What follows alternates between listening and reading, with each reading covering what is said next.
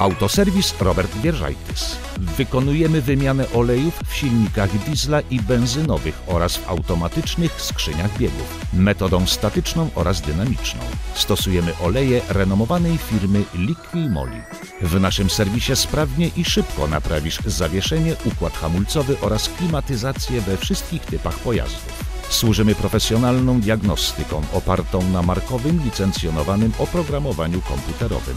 Zapraszamy ulica Ludwika Waryńskiego 26b. Telefon 792 287 467. Na program zaprasza Gumi Express. Tradycyjne zasady, nowoczesna oferta.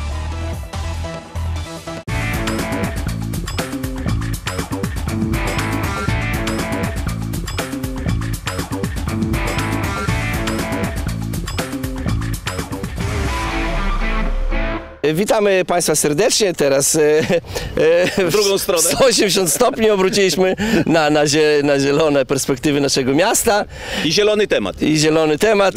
Mirek, Mirek, dzisiaj, Tak. Mirek dzisiaj powali nas na kolana wiedzą Bardzo, na tak. temat elektromobilności. Jestem nabuzowany mocno. Muszę Wam Państwu powiedzieć, że w ciągu paru miesięcy ostatnio badałem ten temat. Może jeszcze osiągnąłem wiedzę na poziomie tam 20-30%, ale generalnie już coś kumam z tego, nie? I dlatego wiesz, cię tutaj mm, powiem tak.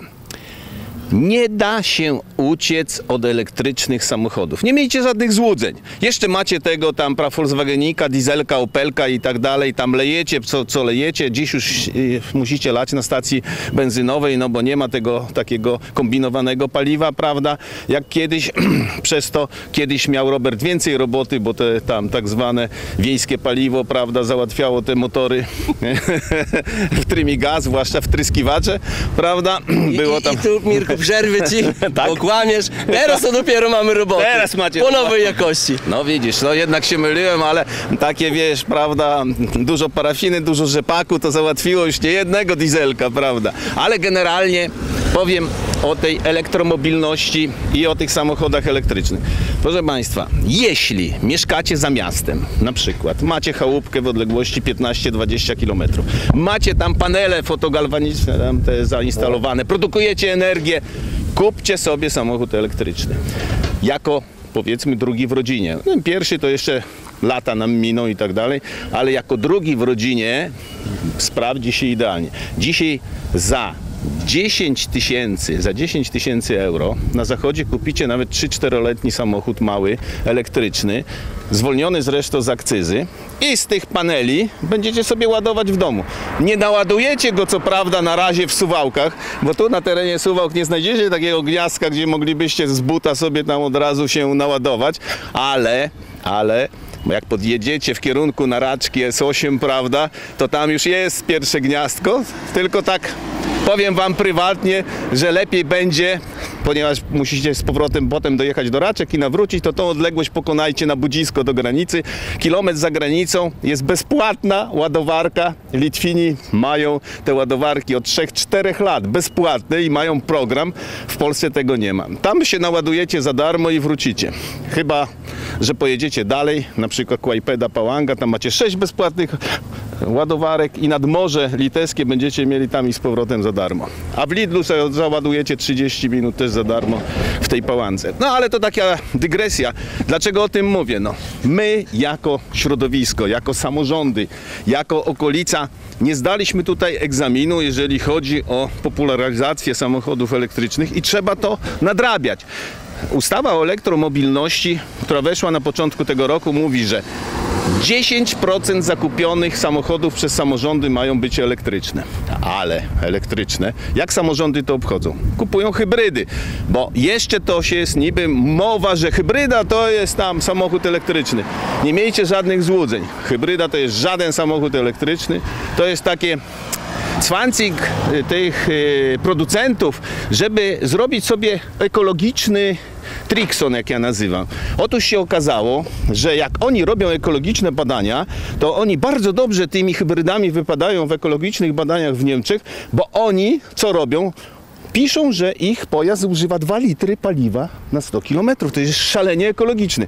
A badania dopuszczają, że większość tej trasy mogą pokonać na elektrycznym silniku. O tym nie mówią, nie? Jeszcze Mireczku, ja wtrącę się, dodaj tak zwany start-stop. On No. też wchodzi U. w pomiar Tak, e, zużycia paliwa No. i to jest w ogóle już fikcja literacka. Te hybrydy to jest takie właśnie namawianie was, no one rzeczywiście oszczędzają wam 2 litry na 100 km i te pasy samochody spalają mniej, ale hybryda jest droższa.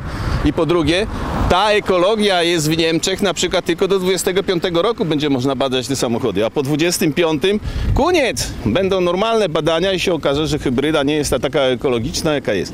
Ale wróćmy do pełnego elektryka. Taki sobie średniej klasy, dobrze wyposażony, to 200 tysięcy złotych, nie? I jeszcze tam, prawda, nie kupicie. Natomiast używany kupicie. Kupicie za te 40-50 tysięcy złotych i jako drugi samochód w rodzinie wam się sprawdzi. Niepotrzebne wam miejskie gniazdko. Sobie tam w chałupie możecie dłużej ładować, nawet w... Pod strzechą. Ba? W Tak? naszym terenie postrzegam. No, pod strzechą. Naładujecie sobie i tam jedno pojedzie do pracy, prawda, dużym samochodem, a tym mniejszym po dzieci, prawda, będą elektrycznie kursować. Bo tak naprawdę to, powiedzmy sobie szczerze, no gdzie my tu w okolicy przeciętny użytkownik jeździ? Do Białego Stoku i z powrotem. To wam tego prądu wystarczy do Białego Stoku i z powrotem bez ładowania. Tak na razie mówię, może nie ma tak punktów ładowania, ale jest myśl na samochody elektryczne i, i mówię tutaj, czy to różne są zdania, nie? No bo mówią, że kiedyś tam utylizacja tych baterii, e, tam gwarancja na te baterie, czy 7, czy 8 lat, prawda, i te wymiana płynu chłodzącego. Na razie, że tak powiem, producenci tych samochodów strzygą użytkowników jak mogą, jak I, gdzieś i dopadną. mogę, Mirku? I bardzo, mogę? bardzo proszę. I teraz, drodzy Państwo, to jest przykład taki historyczny według mnie. Zobaczmy, przygotujemy się do elektryczności, do mobilności. Powinniśmy się przygotowywać. I powinniśmy się przygotować się. równoznacznie z, z to ideo do utylizacji.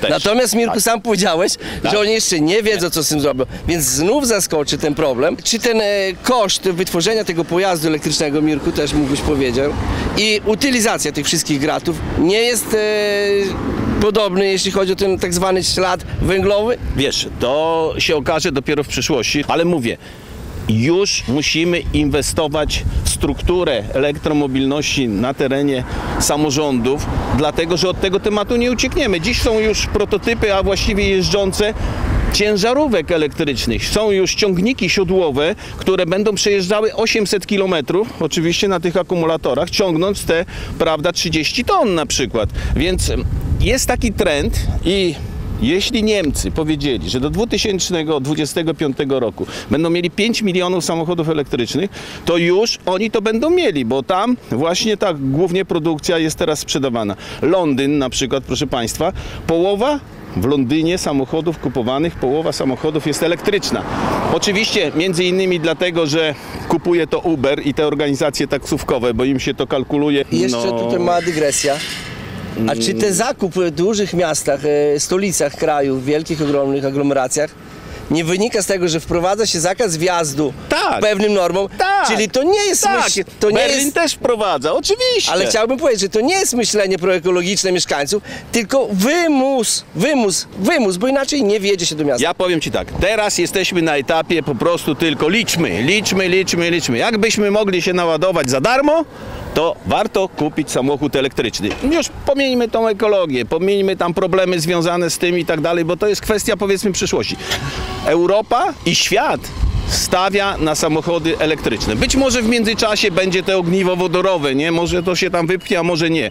Ale dziś możemy produkować ekologiczną energię i z tych paneli, jeśli byśmy zmienili przepisy i znowu na jakieś bardzo takie ludzkie, jeżeli chodzi o panele fotogalwaniczne, to naprawdę, jeżeli wrócilibyśmy, foto Voltaiczne. woltaiczne, a ja galwaniczne, no wiesz, to cholera, gniazdka Mirku, ciągniesz, tak? ale teraz mi przyszło do głowy. Zrobilibyśmy. Przyszło mi do głowy inna rzecz. No mówimy co świat, ale z tego co ja zaobserwowałem, to świat e, wcale nie jest taki ekologiczny, tylko Europa. Jest No znaczy, bardziej, a- bardziej europejska niż Europa sama. Ale Amerykanie już ruszają, bo wiesz, Amerykanie to przywiązani A do benzyny, Chińczycy? tam benzyna jak woda kosztuje, tam za galon się A płaci Chińczycy? i tak dalej. A Chińczycy produkują tych samochodów mnóstwo. I teraz, o, Lidl zaczyna w Niemczech sprzedać Ale chińskiego mówisz małego Niemczech, elektrycznego Niemczech, samochodu. Niemczech. Sprzedaż. Ale produkują? Ale komu? Słucham? Ale komu produkują? Na Europę, Europie? na Amerykę. Niestety paliwo one będzie drogie, bo to się będzie nakręcać przez wszystkie tak dalej. Uciekajmy w energię. Mimo wszystko ta energia elektryczna będzie tańsza, dlatego że ona dotyczy nas wszystkich. I państwo jako takie bardziej będzie zwracać uwagi na cenę tego, które dotyczy nas wszystkich, a nie tylko wybranych. I tak myślę sobie, nie? No jest ten program w Polsce tutaj samochodów elektrycznych, tylko ja bym zaapelował do wszystkich tutaj okolicznych samorządów Suwałk. Kupujcie samochody elektryczne, montujcie tam gniazdka, dajcie przykład. Przykład. Ustawa o elektromobilności dla Was daje po prostu nawet przymus kupowania tych samochodów i myślę, że w najbliższym czasie, jeżeli macie zakupić samochód, to gminy, prawda, powiaty czy tam miasta, kupujcie to, montujcie, a zwłaszcza też podkręcajcie, bo od tego nie uciekniemy. Nie uciekniemy, proszę Państwa. I Wy, wła- właściciele tych starych diesli, złomujcie te samochody, jeżeli one są warte dzisiaj 2-3 tysiące złotych, złomujcie, pozbywajcie się, zamieniajcie to na inne pojazdy, może benzynowe nawet, bo one tak nie zanieczyszczają środowiska. A te stare dieselki to niestety kopcą. A te nowe dieselki z kolei to mają te DPF-y i inne. Jak nie jedziesz w trasy, to prędzej czy później, że naplują ci do oleju tego dieselka, prawda, podniosą poziom, turbina padnie i was w najlepszym wypadku 6 tysięczków będzie kosztować to, prawda. Jeśli obleci z roboty. Tutaj, tutaj, drogi Mirku, ja mam troszkę, troszkę odmienną opinię, a mam prawo, bo my nie, bo my nie jesteśmy jakoś... praktyka, ja teoretyk. Mam swoje lata, żyję długo i zawsze mi mówili, że będzie lepiej. I już ja przeżyłem te 51 lat i tylko po 14 godzin pracuję i nie wydaje mi się z oglądu sytuacji wstecz, żeby jeśli komuś nie zależało finansowo na jakiejś sytuacji, żeby zrobił coś dla mnie. Bo... Więc ja bardzo bym chciał, Mirku, żebyś ty miał rację, ale jeśli będzie jakiekolwiek lobby, które będzie mogło zarobić tam, to tak będzie, bo, bo, bo nikt nie będzie laskowronków robił klatek, bo, znaczy nie klatek, przepraszam, karmniczków, bo nikt nie robi. Ale po to my o tym właśnie mówimy, że może tam ktoś coś kiedyś zobaczy, że prędzej do, czy później, że tak powiem, oni za to zapłacą. Że te lobby wielkie, prawda, duże koncerny i tak dalej, i tak dalej zapłacą, tak jak zapłaci za fałszowanie swoich tych proekologicznych wyników. Tam olbrzymie kwoty poszły. E, Nie wiadomo w czyją kieszeń. To Tak, Mirku, historia. ale to nie tylko bo wszyscy Nie tak tylko. samo No, oszukiwali. fałszowali, no. Tylko ktoś się dobro, ale tutaj jest e, taki, takie moje przemyślenie. Przecież to tak łatwo sprawdzić. No. Tu nie, nie musi taki No. y, Mirosław i Tak, Robert W. Gadać o tym, tak. gadać jakieś tezy i ktoś Tak. powie, a skąd wy się urwaliście? Tak, z choiny. Nie, to jest tak proste do sprawdzenia, tylko komuś w ogóle nie zależy na tym i ja jestem przekonany, że dopóki czy, czy nie będzie tam pieniążków czyich, dopóty nikomu nie będzie zależało na Tak nie zależy na razie nikomu na elektromobilności, ale mówię, nie uciekniemy przed tym. I teraz mamy szansę już się za to zabierać, już niech się młodzi, niech szkoły się wezmą, niech zaczną wyprzedzać czas. Już teraz z ministerstwa program niepotrzebny, ale w szkole niech zaczną ich uczyć już tych obsługi samochodów elektrycznych, rozumiesz? Bo to lata troszeczkę przesunie, nie? Czyli do programu nie, o teraz u nas w szkole, nie? Tutaj powiedzmy wybudowali warsztaty i tak dalej, ale to jest jeszcze do samochodów, prawda, z, z tradycyjnych, z dieslem, z benzyną i tak dalej, a już powinni nauczać o tych elektrycznych. Tak, tak, już kupić im za przykład, Drodzy- rozebrać, pokazać i drodzy- tak dalej. drodzy I, państwo, I do tego jeszcze ja- nauczyciele ja są słucham- potrzebni, oni też słucham, muszą co, się co uczyć. Mirek mówi i ja jestem przerażony. No, do przodu, do przodu, do przodu, a nie tam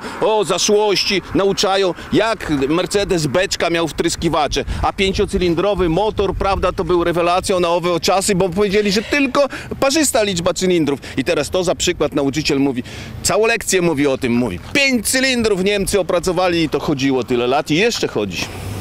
A kiedyś mówili tylko parami, albo widlasty, albo tego. Było tak? Ja, ja bardzo... A, a weź kiedy beczkę Ja, skonstruowali. ja bardzo pięć przepraszam, ale, ale jeśli chodzi o te manualne czynności, Tak. to, to większość przychodzi na zdalne. Na zdalne, więc y, zawód jaki... Zdalne, zdalne nauczanie, czy zdalne, zdalne wykonywanie czynności. zdalne wykonywanie czynności? Tak, więc... y, To nam grozi światu zagłada. Nie, zdalnie będą Ale włączały. światu zagłada. Nie, zdalne, zdalne. Da Mireczku, chodź bliżej. Nie, Zdalnie, zdalnie będzie to wszystko załączane. Cholera. I jedyne, co mi tu przydługo, bo sam mam, mam, mam dwóch synów, z czego jeden starszy, drugi młodszy i... I oni tylko zdalnie. Nie, ja z tego, co tu słyszę, to boję się, żeby niektóryś nie powiedział, że w której grupie on jest przekonań. Rozumieć. Tak I jest. co, byś się przejął? Z której 14? Nie, no bo to jest taka tre- tre- taki No to może- tendencja, kochałbym jak swego, ale może. wszyscy są skupieni nie na pracy, e, na efektach pracy i na czynnościach i, i na teorii, perspektywach, jakie na one dają, tylko po prostu zupełnie gdzie indziej są. I teraz e, coś mądrego bym chciał powiedzieć. Ale będziesz, będziesz się uczył o samochodach elektrycznych. Ja ciągle. Już masz 50 ja już lat, nawet mam, mam, mam zrobiony Tak? specjalny przy, przygotowawczy kurs, żeby móc obsługiwać hybrydy. Widzicie? Słuchajcie. Ale, bo nie wolno. To tam- nie jest kryptoreklama. nie, Nie, tam są tak wysokie napięcia, że jedna pomyłka potrafi Tak. zniszczyć Zabić, człowieka w chwilę. Zabić. Tylko, że jeśli nie, nie przekonamy młodzieży do tego, że nie trzeba wstydzić się pracować, yy, obojętnie w jakim zawodzie, bo tu nie mówimy tylko o warsztatach samochodowych. w każdym jednym zawodzie, że to nie jest wstyd. Ta umiejętność nie zostanie im odebrana nigdy, że oni stanowią jakąkolwiek wartość wymierną. Chodzi o to, że, że, że trzeba podnieść... Yy, Wydajność. nie, Mirku.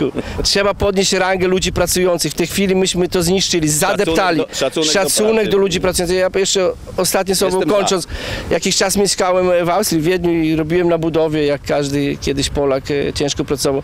I wiecie Państwo, co, co, co mnie utkwiło do dzisiaj, to pamiętam, jak wsiadali ludzie w różnych ubraniach do tego Schnellbahn czy U-Bahn, jak oni nazywają, to ja się zastanawiałem, czemu oni wstają i miejsca ustępują, żeby oni usiedli. Myślę, bo z brudasami może nikt nie chce się ocierać. Nie, drodzy Państwo, bo czy oni mieli to wpojone, czy, czy po prostu musieli to robić, oni w ten sposób wyrażali szacunek dla tych ludzi, którzy o piątej jechali na te budowy. E, I oni wiedzieli, skąd to się bierze, że zdalnie nie ma nic. Że jednak jeśli Janek nie wrzuci do pieca tutaj na przykład naszej będzie zimno. ciepłowni, To będzie zimno. to będzie zimno i żaden zdalny guzik nie pomoże w tym. Więc to tylko to jest przykład tego, że we wszystkim trzeba, trzeba mieć rozum i dystans. Ale I w planowaniu. Już, już czepiasz o politykę. A, przepraszam. umawialiśmy się polityki uprawiać. Nie, to ja nie Może zakończymy ten, w tym momencie. Elektromobilność hasłem. Elektromobilność nas nie ominie. Nas nie wywiezie. Też może. Nie, może wywiezie, bo wtedy karawan nie koniem. Coraz bliżej święta, prawda? drodzy państwo, to nie coraz ma- nie da się ukryć. Zwłaszcza dla mnie, bo to wiesz, Mimo- 20 w Mimo, do ciebie mimo do przodu, ogolenia, nie? nie, coraz bliżej święta, no i tym y, śmiesznym, nie wiem, czy miłym akcentem byśmy chcieli zakończyć dzisiejszy.